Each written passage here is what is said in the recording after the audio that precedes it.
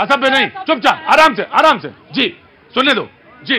राममय पूरा विश्व हुआ पड़ा है तो प्रतीक जी, आपके शो में अगर राम राम हो रहा है तो इसका गौरवपूर्ण है, क्योंकि भगवान श्री कृष्ण ने भी गीता में कहा था कि जब जब अधर्म बढ़ेगा तो ईश्वर ऐसे मनुष्य भेजेगा जिसके अंदर धर्म का वास होता है, और वो मोदी जी कांग्रेस को ये पीड़ा हो रही है कि जो इमरजेंसी इन्होंने लगाई जो दिल्ली में उन्नीस सौ चौरासी के दंगे करवाए वो दंगे दंगे नहीं है। लेकिन आज जब देश सामाजिक समरसता की बात कर रहा है जहाँ एक तरफ़ राम मंदिर बन रहा है वहीं मदीना में मेरे हज के यात्रियों के लिए पूरी सुविधा कराई जा रही है जहाँ पे 25 दिसंबर को प्रधानमंत्री मोदी जी के आवास में हमारे क्रिश्चियन भाई बहन साथ मिलकर क्रिसमस मनाते हैं और ये बात करते हैं अजमेर शरीफ में चादर भेजी जाती है। अजमेर शरीफ में चादर भेजी जाती है और आज आज जहाँ पे हमारा जहाँ पे हमारा राष्ट्र आज़ाद हुआ था आज सांस्कृतिक चेतना हो रही है और जो विकास की संकल्प यात्रा हम लेके जा रहे हैं और उसको जो साधते हुए भारत पृथ्वी से लेके अंतरिक्ष तक अपना परचम लहरा रहा है चाहे वो डिफेंस हो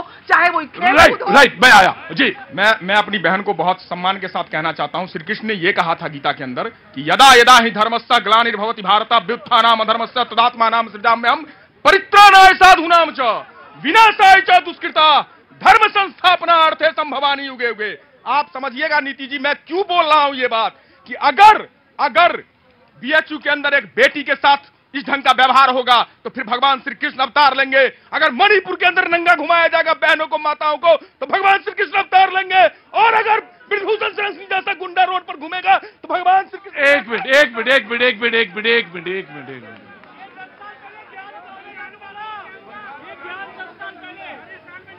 हाँ राजस्थान में नहीं हुआ राजस्थान में हुआ नहीं। राजस्थान में आपके वो शख्स मंत्री थे। मैंने जेल भेजा है वहाँ पर लोगों को। राजस्थान! तो जब बोला करो तो बता दिया करो। जेल भेजा है हाँ, बताया करो। ऐसा नहीं बताया है करो। जेल भेजा है लेकिन ये प्रश्न दे के लग के रखे हुए हैं। अगर कोर्ट ना बोले ना तो दस सारे बीजेपी का अभी क्या हुआ? आईटी सेल के निकले तीनों के तीनों। वो उपद्रवी कौन थे? मैंने कहा घृणतम घृणतम अपराध है। मैं नीति आया। एक मिनट ये क्लैरिफिकेशन देना चाहिए उसी धर्म को स्थापित आज किया जा रहा है और आप वही निमंत्रण लौटाते हैं। उसी धर्म को आज स्थापित किया जा रहा है और राम नाम पे आप लगाते हैं। उसी धर्म को आज स्थापित किया जा रहा है और आप महिलाओं का अपमान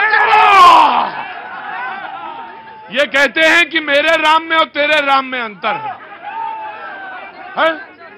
अंतर है? अच्छा रुको। एक मिनट में आ गया आ गया। वो कहते हैं मेरे राम में तेरे राम में अंतर है। एक शख्स है क्या नाम है आपका? अभिषेक। अभिषेक कहते हैं हाँ अंतर है। प्रभात जी के राम में और नीति जी के राम में अंतर है। क्या नाम है आपका? अभिषेक। अभिषेक कहाँ जा रहा हुआ? मुखर्जी नगर से। वो क्या कर रहे हैं आप? मैं यूपीएससी की तैयारी वो तो मैं जैसे ही आपने मुखर्जी नगर लिया और मुझे वो फ़िल्म याद आ गई। दसवीं फेल हाँ। Twelfth fail. बड़ी अच्छी मूवी बनी भाई। मुझे बहुत अच्छा लगा और आप तैयारी कैसी चल रही है आपकी? अच्छी चल रही है। अच्छी चल रही है। पहला अटेम्प्ट है या दूसरा है? तीसरा आइटम तीसरा है। प्रभु आपको बहुत सफलता दे और आप जल्दी से यूपीएससी क्लियर करें और इस देश की सेवा करें।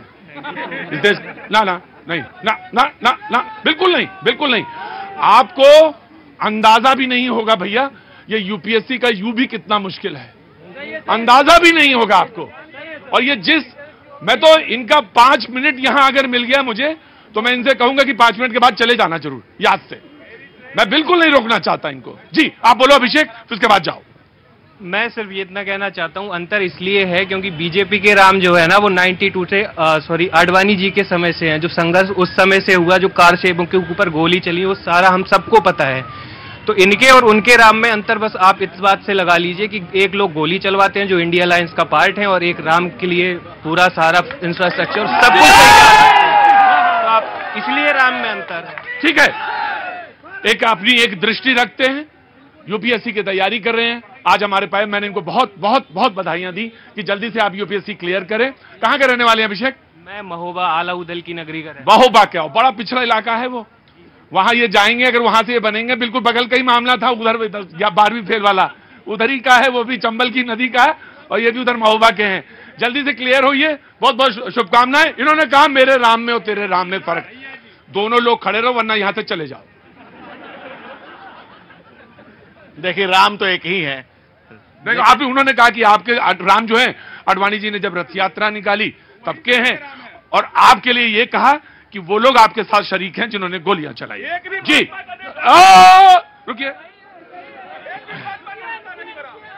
देखिए ऐसा है ना जाकी रही भावना जैसी रघु मूरत देखी थी तैसी राम को आप जैसे देखना चाहते हैं राम आदर्श है इस देश का। राम सनातन सत्य है संस्कृति है सबरी के जूठे बेरों में राम जटायु के कटे परों में राम। राम अब के सिकेवट के प्र- पद प्रक्षालन में राम जीवन के संचालन में राम। राम आदि है राम आरंभ है राम शुरुआत है राम अंत है। राम मध्य भी है राम बिंदु भी है राम सिंधु भी है। राम शुरू है राम अंत है। हम जीवन का अंत भी राम राम सत्य से करते हैं। हम तो राममय जीवन है। राम के खड़ाऊ को भरत ने सर पे रखा और भाजपा के कार्यकर्ताओं ने हृदय में रखा।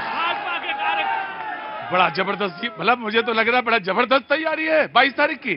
भारत जिस तरह से भरत ने राम के खड़ाऊ को सर पर रखा, भाजपा कार्यकर्ताओं ने हृदय में रखा और राम राज स्थापित किए बिना, राम काज किए बिना मोहि कहाँ विश्राम? चाहे हनुमान के सीने में राम मिलेंगे, मोदी के जीने में राम मिलेंगे, मोदी के जीवन में। इसीलिए इस देश का मूड है कि अयोध्या में राघवेंद्र और दिल्ली में नरेंद्र, ये नेशन कह रहा है। अयोध्या में राघवेंद्र और दिल्ली में नरेंद्र। जय श्री राम। यही मैं बोल रहा था। मैं यही कहना चाहता था कि राम के नाम पे इन्होंने अपने भाई राम भक्तों को चोट तो नहीं देते हैं। राम भक्तों पर गोली तो नहीं चलवाते हैं। हाँ कांग्रेस कांग्रेस नहीं है देखिए राम के नाम पर मुझे लगता है राजनीति नहीं होनी चाहिए। राजनीति का काम होता है इनको सत्ता में किस लिए बैठाया था? इन्होंने वादा किया था। दो करोड़ नौकरियाँ देने ये यूपीएससी छात्र जो खड़ा है ना राहुल गांधी जी मिलने गए थे इन लोगों से।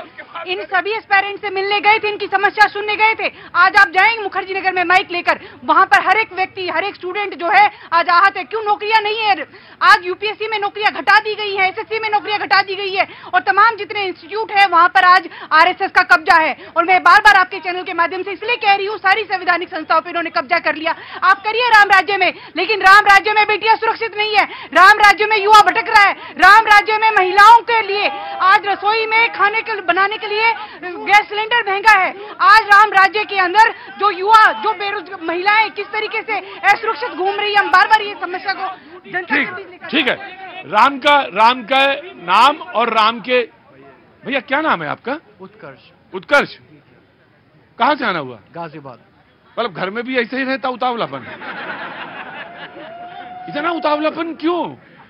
सर मैं सुन नहीं मैं पूछ रहा हूँ कि संयम थोड़ा सा उतावलापन इतना क्यों? थोड़ा सा संयम रखो और आप मैं स्पेशल आपका कार्यक्रम देखने आया आप मेरा प्रोग्राम ना देखो। चुपचाप मध्य प्रदेश से आए चुपचाप खड़े रहो। चुपचाप खड़े रहो। ये उतावलापन। जी हाँ जी। देश में अभी एक भी फ़ोन नहीं बन रहा था। अभी सेकेंड नंबर पे है लार्जेस्ट में। वो क्या नौकरी नहीं है? नौकरी पे सवाल करते सेकंड लार्जेस्ट नंबर पे फ़ोन बना मैन्युफैक्चर में है। वो क्या नौकरी नहीं है? हज़ारों की नौकरी मिल रही है।